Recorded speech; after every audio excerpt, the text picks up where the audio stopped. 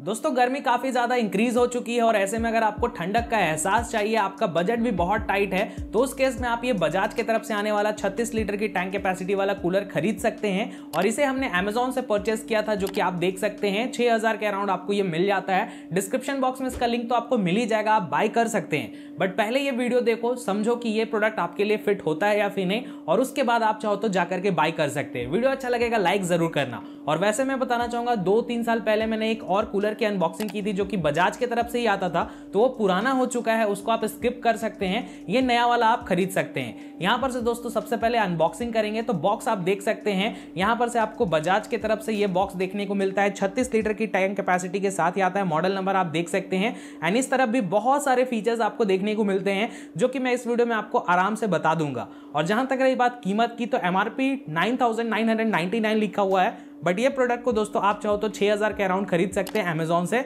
Link description box में आपको मिलेगा। और बॉक्स को दोस्तों, जैसे ही आप ओपन करते हैं पैकिंग मेरे हिसाब से वन ऑफ़ द बेस्ट है। कुछ भी टूटने फूटने का चीज़ यहाँ पर से आपको देखने को नहीं मिलने वाला है। और इसको हम बाहर निकाल करके आपको दिखाते हैं तो आप देख सकते हैं, काफ़ी अच्छे से ये लपेटा हुआ था। और यहाँ पर से जो प्लास्टिक के फ़िल्म लगाए गए हैं, इसको हम अच्छे से निकाल लेते हैं दोस्तों। और ऊपर की तरफ़ से जैसे ही आप निकालोगे तो एक वारंटी कार्ड ये सब आपको देखने को मिल जाएँगे। कुछ फीचर्स वाले डिटेल्स आपको मिलते हैं। तो उसको हम हटा देते हैं और जो भी इसके ऊपर से प्लास्टिक लगाया गया है, इसको हम अच्छे से निकाल देते हैं और जो यहाँ पर से थर्मोकॉल है, उसी में हम यहाँ पर से रोल अप कर दे रहे हैं ताकि हम इसे बाद में भी यूज़ कर पाए।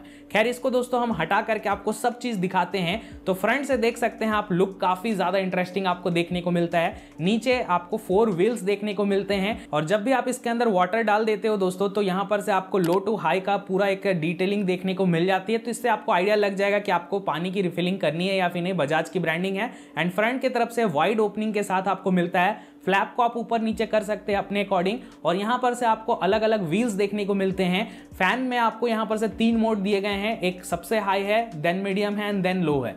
मैं आपको थोड़ी देर में ना इसका पूरा एकदम साउंड का क्वालिटी भी टेस्ट करा देता हूँ. और बाकी स्विंग पंप का भी ऑप्शन आपको मिलता है. एक बार आप रोटेट करते हैं तो अंदर का जो आपका स्विंग ऑप्शन है, वो ऑन हो जाता है. दूसरे मोड में दोस्तों आपका स्विंग प्लस वाटर ऑन होता है और तीसरे मोड में केवल वाटर आता है. वो भी मैं आपको बताऊँगा. वैसे आप इस तरफ़ से देख सकते हैं. यहाँ पर से दोस्तों, आपको मिलता है ये हनी की पैडिंग साथ ही साथ यहाँ पर से आप देख सकते हैं वायर देखने को मिलता है। इसकी क्वालिटी बहुत ज़्यादा अच्छी है, जो कि देख सकते हो आप। लेंथ भी काफ़ी ज़्यादा है। पीछे की तरफ़ से आपको दिखाता हूँ दोस्तों। तो आप देख सकते हैं, पहले तो आपको एक ब्लैक कलर का नॉब मिलता है, जिसको अगर आप निकालोगे तो जो भी पानी है और गंदगी है, वो अंदर से बाहर की तरफ़ निकल जाते हैं। और ये चीज़ मुझे अच्छा लगा डिज़ाइन वाइज बाकी यहाँ पर ऊपर की तरफ़ से आपको पानी डालने का ऑप्शन मिल जाता है। आप चाहो तो अपने मग से ये सब पानी को आराम से यहाँ पर से इंसर्ट कर सकते हैं। ज़्यादा पानी हो जाने पे ओवरफ्लो का भी ऑप्शन दिया गया है। एंड पीछे की तरफ़ से भी दोस्तों आपको हेक्सागोनल पैडिंग देखने को मिलती है। और इस तरफ़ से भी दोस्तों आप देख सकते हैं हेक्सागोनल पैडिंग आपको देखने को मिल जाती है। और इसको ओपन करने के लिए यहाँ पर से दो नोब्स भी दिए गए हैं, वो भी मैं आपको दिखाता हूँ ओपन करके। तो आप देख सकते हैं अंदर की तरफ़ से बहुत ही अच्छा हेक्सागोनल पैडिंग आपको देखने को मिलती है। और इसके अंदर ना वाटर कॉन्टेंट काफ़ी ज़्यादा आता है और आपको ठंडक का भी एहसास काफ़ी अच्छा मिलता है। और इसकी ड्यूरेबिलिटी भी काफ़ी ज़्यादा रहती है नॉर्मल खसखस वाले से अगर आप वुडवोल से कंपेयर करते हैं तो। खैर, अंदर के तरफ़ से जो फ़ैन है, वो यहाँ पर से आयरन का नहीं है, जो कि आप देख सकते हैं। एंड पूरा यहाँ पर से रीडिंग एंड जो भी इसके आरपीएम है, वो सब यहाँ पर मेंशन किए गए हैं दोस्तों। मैं यहाँ पर से लिख के आपको दिखा दूँगा।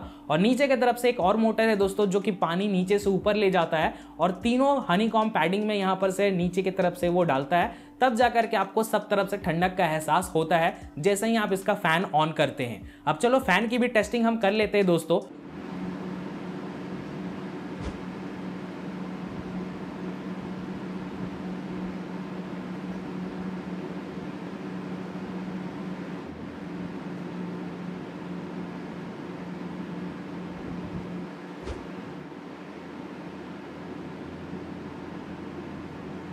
तो आवाज़ का आपको आइडिया तो हो गया होगा। और जहाँ तक रही बात दोस्तों स्विंग ऑप्शन की तो जैसे आप फ़र्स्ट बार ऑन करते हैं तो ये इसका अंदर का जो स्विंग ऑप्शन है, वो ऑन हो जाता है। अगर आप इसे सेकेंड टाइम ऑन करते हैं, इसके व्हील को रोटेट करके तो स्विंग के साथ साथ आपका जो पानी है, वो नीचे से ऊपर की तरफ़ आएगा। इन तीनों साइड जो हनीकॉम पैडिंग दी गई है, उसके अंदर यहाँ पर से आएगा, ताकि आपका ना ज़्यादा ठंडक का एहसास हो। एंड तीसरे मोड पे दोस्तों, केवल पानी आता है, वो स्विंग होना बंद हो जाता है। तो एक डायरेक्शन में आप चाहो तो आनंद उठा सकते हैं ठंडे हवा का। और अगर आपको मैं थोड़ा सा और एक बार इसका झलक दिखा दूँ दोस्तों तो आप देख सकते हैं लुक वाइज ये काफ़ी एस्थेटिकली डिजाइंड है। जिस तरीके का white colour blue knobs and जो कहीं कहीं डिटेलिंग आपको दिखती है ग्रे कलर की, वो आपके ना रूम का लुक को बहुत ज़्यादा इंहेंस करता है। तो इस प्रोडक्ट के रिगार्डिंग मैंने आपको सारी जानकारी दे दी। आप देखो, मैं अगर आपको शॉर्ट में कंक्लूड करके बताऊँ तो जो हेक्सागोनल पैडिंग आपको मिलती है ना तीनों डायरेक्शन में, उसकी वजह से जब भी आपका हवा अंदर जाता है और बाहर की तरफ़ जब निकलता है तो ठंडक का ज़्यादा एहसास हो पाता है। इवन यहाँ पर से ब्लोअर नहीं है फ़ैन दिया गया है। तो ब्लोअर में होता है क्या है ना, वो आपका ना बहुत ज़्यादा आवाज़ भी करता है और ज़्यादा थ्रो नहीं रहता है उसका।